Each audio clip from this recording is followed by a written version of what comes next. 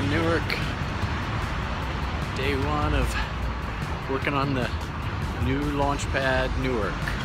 Last night was out with some local folks and uh, Keon asked me about creating authenticity. How do we create a authentic space at Launchpad? And I talked about some of the efforts we make to localize the space, like bringing in local artists' work and designing the space so that it resonates both the heritage of the building and, the, and references the city and uh, inspires and draws heritage. But um, authenticity is a lot more than just the, uh, the design of the space.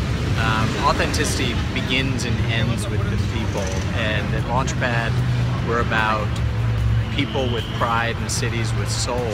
Authenticity comes from places and, and people that, uh, that, that are the defenders of a city, the, the, the, people that take pride in the city. And these people might not be on top, these people are on their way up.